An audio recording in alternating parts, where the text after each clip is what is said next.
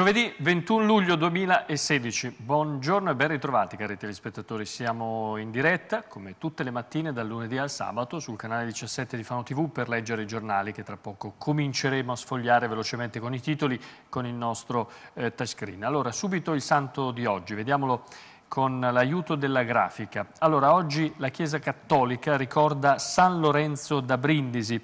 San Lorenzo da Brindisi, il vero nome è Giulio Cesare Russo, il nome di battesimo, nacque a Brindisi nel 1559. Fu proclamato dottore della Chiesa, Giovanni XXIII definì le sue opere veri tesori di sapienza. Il sole è sorto alle 5.45 e tramonterà alle 20.44. Vediamo il tempo insieme alla grafica della Protezione Civile delle Marche. Per la giornata di oggi avremo cielo sereno poco nuvoloso con temperature senza variazione di rilievo. Potrebbero esserci occasionali piovaschi o brevi rovesci nel corso del eh, pomeriggio. Eh, immagino nell'entroterra. Mm, I venti sono sud-occidentali, eh, vento moderato lungo la fascia costiera. Per la giornata di domani, venerdì 22 di luglio, avremo cielo sereno poco nuvoloso, con temperature stazionarie in lieve aumento, ancora venti a regime di brezza anche lungo la costa e poi sabato 23 luglio, eh, cielo poco o parzialmente nuvoloso, con addensamenti maggiori sui settori interni nel corso del pomeriggio. Avremo possibili locali rovesci sui settori interni della Regione Marche, anche, vedete, limitatamente alla eh, zona dei Sibillini, comunque siamo nel sud della Regione Marche. Le giornate di domenica e lunedì potranno essere invece caratterizzate da deboli condizioni di instabilità, più eh, spiccate nei settori interni e collinari. Iniziamo a leggere i giornali, cominciamo a sfogliare il Corriere Adriatico. La rivoluzione di Ceriscioli, il presidente della Regione Marche. Meno ospedali, dice il governatore, e più servizi. Il presidente parla ai sindaci dell'area vasta e spezza il fronte della protesta. Lo fa da Urbino. La riforma è sanitaria, ma l'innovazione è semantica e tecnologica. Ceriscioli si, presenta, uh, si ripresenta ai sindaci dell'area vasta Basta sei mesi dopo le scuse che portò per l'infausto blitz di Natale negli ospedali minori, illustra il suo modello organizzativo della sanità e capovolge le condizioni ambientali. L'ospedale unico per l'ASUR è quello di Urbino, che ha una sede anche a Pergola e il sito del nuovo presidio invece di Marche Nord si sceglierà con Google Maps. A, a, Opporsi restano solamente Sasso Corvaro, Cagli e Fossombrone. Il blitz dei carabinieri stavano preparando la fuga, eh, gli autori eh, delle bombe alle chiese sono due ultra, stiamo parlando eh, di un fatto accaduto a Fermo, è stato risolto il giallo, la procura dice nessun legame con l'omicidio del nigeriano. Questa è la prima pagina dove ci sono eh, brevi eh, richiami anche sullo sport. Il Fano, che sorpresa, può essere Lega Pro senza la supertassa perché eh, ci sono due squadre che non riescono ad iscriversi, quindi possibile, è un'ipotesi che possa eh, entrare in Lega Pro senza pagare i 250 mila euro. Apriamo subito la pagina di Fano del Corriere Adriatico, eccola qua, Marchegiani l'assessore che ha la delega anche alla cultura. Dal principe a Noa si cerca la qualità e non la folla. Ieri il, il messaggero aveva un po' stroncato la, mh, il concerto di Francesco De Gregori. Eh, aveva parlato di un buon concerto, ma insomma eh, senza eh, che De Gregori entusiasmasse troppo la folla. Si cerca però la qualità, risponde oggi eh, il, il, ehm, il, vice sindaco sì, e comunque l'assessore alla cultura marchegiani, eh, spiega il dopo De Gregori e l'irripetibilità del violino e la selce, che non so quanti di voi se lo ricorderanno, eh, però era una manifestazione molto d'élite, eh, molto particolare, a qualcuno piaceva, a tanti invece eh, è rimasta indigesta e ancora eh, quando si nomina questo festival insomma c'è qualcuno che storce il naso. Spese dimezzate invece grazie al palco che è stato allestito per l'orchestra Rossini e il festival del jazz. E poi sotto dalla, dalla musica dei giorni nostri o comunque evergreen, visto che De Gregori ha fatto anche Bob Dylan, eh, così come il suo repertorio che ormai dura da tantissimi anni. Love Party, si parla anche di eh, musica anni 70 con il Lido che torna ai figli dei fiori. L'iniziativa degli anni 70, l'anno prossimo porteremo, dicono gli organizzatori, eh, anche Red Ronnie che è il portabandiera della musica degli anni 70. Gli alberghi invece abbandonati sono sulla pagina eh, 44 del Corriere Adriatico di questa mattina sono un danno d'immagine. Pettinelli a Cecchini, non mi riferivo a quelli che investono, per fortuna chi investe ancora per migliorare gli alberghi eh, ce ne sono, ce ne sono diversi. Appello alle istituzioni, più sostegno a chi spende per rinnovare le proprie strutture. E poi la buona notizia per i disabili che vogliono salire e che hanno bisogno di prendere il treno alla stazione ferroviaria di Fano, la stazione non è più vietata perché parte un nuovo servizio di assistenza per i viaggi che eh, si possono prenotare, questa assistenza si può prenotare al eh, telefono, basta chiamare 48 ore prima un numero verde oppure un altro numero che è l'199 30 30 60, tutti i numeri che troverete eh, pubblicati sul giornale di questa mattina.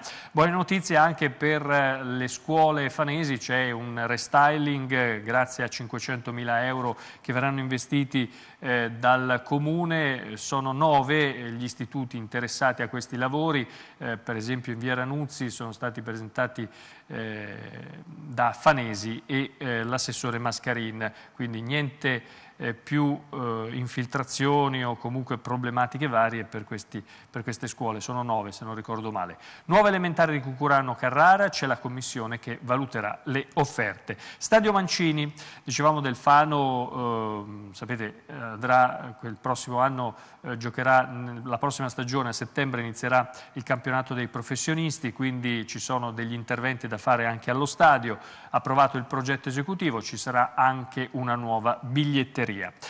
E ancora, Ave Cesarini, è qui la festa, parliamo del successo che ha avuto nella nuova eh, versione per i più piccini la rievocazione storica del Fano dei Cesari, eh, l'Avis vince la gara delle bighe, a sorprese i cartaginesi sconfiggono i eh, romani.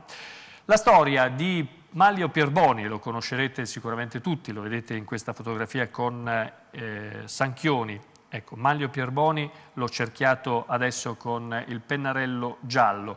Eh, una vita per l'Alma, fatta il Cremone a ferita aperta, lo storico dottore ingranata dal 1972 elogia Gabellini e cita mister eh, Osvaldo Bagnoli. Il mio credo dice prima l'uomo e poi l'atleta. Fondamentale il lavoro con Sanchioni che, eh, questa, eh, con il quale è stato ritratto in questa fotografia pubblicata questa mattina dal giornale. Val Cesano, lo sbarco dell'Adriatic Rome, il SUP diventa senza frontiera, Marotta un fine settimana di grandi eventi, la tradizione trionfa con una rievocazione storica che è la festa, o meglio la pesca della tratta, quella eh, che si faceva una volta e che adesso non si può più fare, anche qui un mistero il perché non si possa più fare una cosa del genere, ma insomma quella che si pescava da terra, dalla, dalla spiaggia tirando la rete, ecco questa è la pesca della tratta, è una rievocazione, adesso è solo una rievocazione, si può solo rievocare con un permesso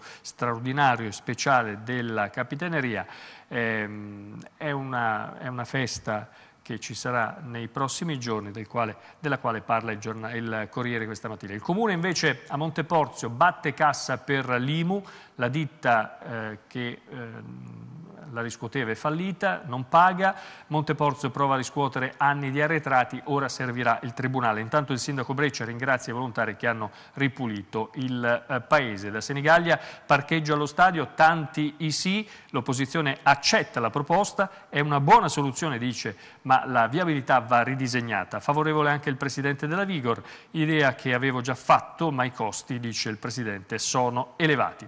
Apriamo adesso il resto del Carlino, guardate che bella fotografia fotografia, quella che pubblica il giornale questa mattina, ed è tutta per gli studenti del classico Mamiani.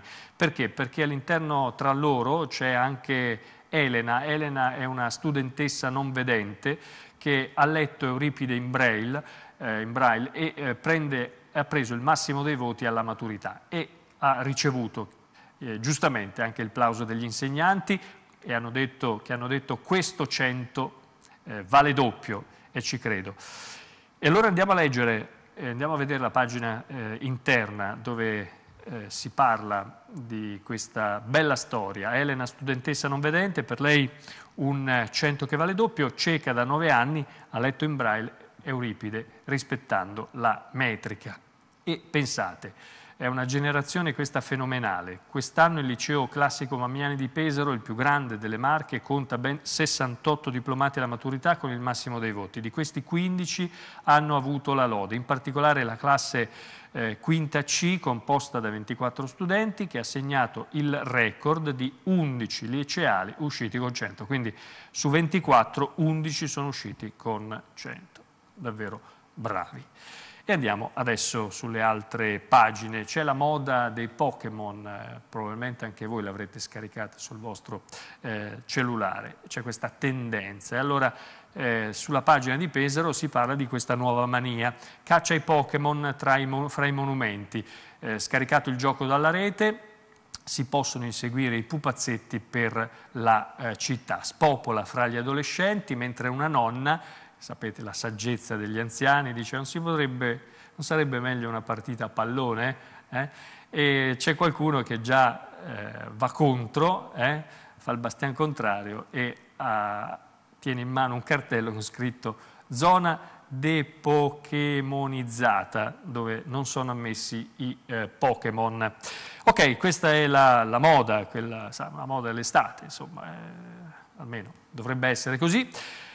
L'altra pagina del resto del Carlino invece eh, ci riporta ad un fatto accaduto, del quale vi abbiamo parlato ampiamente qualche anno fa, un fatto accaduto eh, dove una, una, coppia di, di persone eh, avevano manomesso un'auto per uccidere una donna. Ebbene, volevano uccidere una donna sabotandole l'auto, tagliandole i freni. Per quella vicenda Vincenzo Mancani, 23 anni, di Calcinelli, è stato condannato ieri dal collegio dei giudici, presieduto da Stefano Marinelli, ad un totale di 8 anni e 4 mesi, 7 anni per il tentato omicidio e un anno e 4 mesi per una eh, ricettazione. I militari avevano scoperto che il 23enne voleva far fuori anche la nonna.